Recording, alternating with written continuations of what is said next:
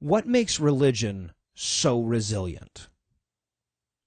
You know, I'm sure you've got a couple of go to answers, but before you throw them out there, consider how thoroughly we have won the intellectual side of this argument. I, I, mean, the best the other side can do is trot William Lane Craig out there in hopes he can confuse an audience into thinking that believing in God is an intellectual suicide, but that's it. I mean, the religious position isn't just inferior, it's logically impossible, and yet it's the majority view. Uh, consider how well the last couple of centuries have gone for us. Like every new discovery has broken our way. God did it, could have been the answer to any number of questions, but over and over again, it wasn't. Know, we've explored everything we can think to explore, and nowhere have we found evidence for a God. Every explanation that withstood scrutiny has been God free, and yet God is still the most frequently cited explanation for shit. And from a purely intellectual perspective, we're lobbing ICBMs and they're throwing their slingshots at us for a lack of rocks to put in them. We're not just winning the battle. We won the battle, gathered the bodies, burned them on a pyre, cleaned up the field, repaired the shell craters, replanted the trees, and built a fucking memorial. But from an emotional perspective, we still seem to be getting our asses kicked. And that's the root of the much maligned claim that you can't reason someone out of something they didn't reason themselves into. Now, I know a lot of people take issue with that claim because they all know somebody who was reasoned out of religion, or hell, maybe they themselves are a person who was reasoned out of religion. So yeah, the statement might not be technically correct, but it still captures an important detail of our fight and one that we can't ignore. You know, I mean, sure, maybe you were reasoned out of religion, but along the way you were also emotioned out of it. You know, most of the people I know who reasoned their way out of faith, yeah, they read some books and they watched some debates and whatnot, but that came after they fought through the emotional anchor of their faith. And when people say you can't reason a person out of religion, that's what they're talking about. What they're saying is that evangelizing isn't and can't be a purely intellectual practice. We have to deal with the emotional components as well. And when it comes to the emotional front at a glance, we're hopelessly outgunned. We're as outgunned on this front as they are in the intellectual one, right? I mean, we come by it honestly. We're limiting ourselves to verifiable true stuff and they can say whatever the fuck they want. So when it comes to death, they offer up eternity and paradise and all we've got is you won't be around to realize it sucks. When a tornado rips through your house, they offer a direct pipeline to a mute but omnipotent intercessor, and all we've got is promising data on some like more advanced warning systems, maybe. You know, when it comes to the vagaries of fortune, they offer up an inexplicable but inestimably important role in the divine architecture of the universe.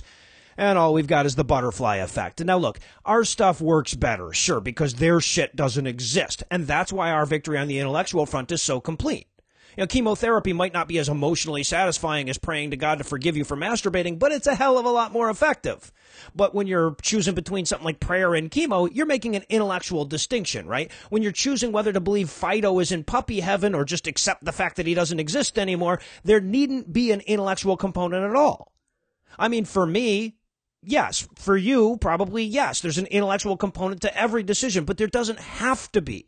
At a glance, there's nothing invested in that distinction other than your emotions. And sure, if you pick at that scab of their motivated reasoning even the tiniest bit, you'll be reenacting the elevator scene from The Shining, but you don't have to pick at the scab.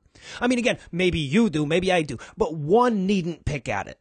You know, if you think to yourself, wow, God intentionally killed my dog and now Fido's stuck in dog heaven for another couple of decades wondering where the fuck I am, the whole thing falls apart.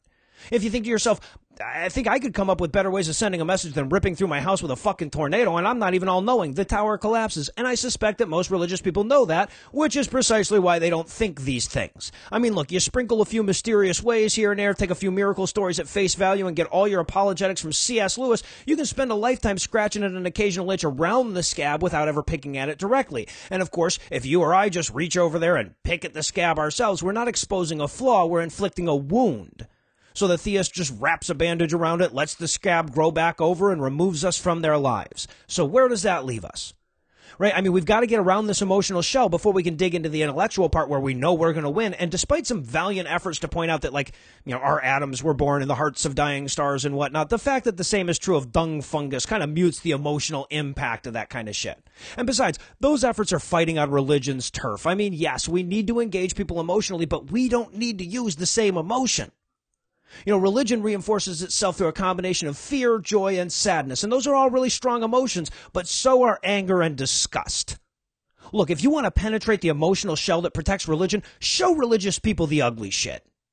Show them the destitute people that charlatan preachers are taking advantage of. Show them the innocent children the pedophile priests are raping. Show them the artificial barriers they've erected in front of scientific and social progress. Show them a child trembling in fear of the devil. Show them a lesbian trembling in fear of herself. Show them the bombed marketplace strewn with the corpses of infidels. Show them the endless cavalcade of historical ills that were wrapped in holy text and ask them which matters more. All the lives ruined by the unaccountable authority of God or their comforting delusion about puppy heaven.